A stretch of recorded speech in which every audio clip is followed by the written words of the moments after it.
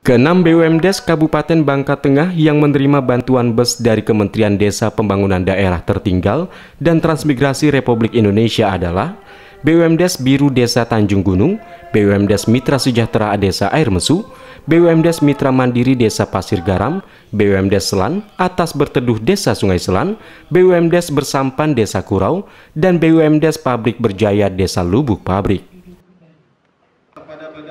Penyerahan bantuan 6 unit bus ini diserahkan oleh Bupati Bangka Tengah Ibnu Saleh kepada Ketua BUMDes dengan disaksikan Kades setempat dan Kepala DPPKP Kabupaten Bangka Tengah.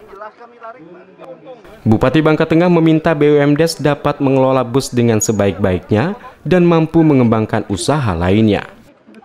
Jadi bantuan bus ini adalah kita bantu kepada BUMDes. Kita harapkan BUMDes mulai uh, berupaya untuk berusaha. Dan ini kami harapkan BUMDes bisa mengelola mobil ini yang diberikan kepada BUMDes. Tidak hanya bisa melayani masyarakat mereka di sekitar mereka tetapi kami harapkan uh, bisa menguntungkan uh, BUMDes. Dan BUMDes menjadi tertarik untuk mengembangkan usaha transportasi dan usaha-usaha lainnya. Jadi ini mungkin langkah awal dari pemerintah memberikan uh, kepada BUMDes untuk usaha, untuk berusaha di bidang transportasi.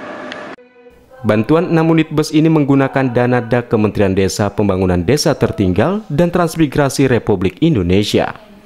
Dari Kabupaten Bangka Tengah, Bangka Belitung, Rahmat Kurniawan, MNC Media melaporkan.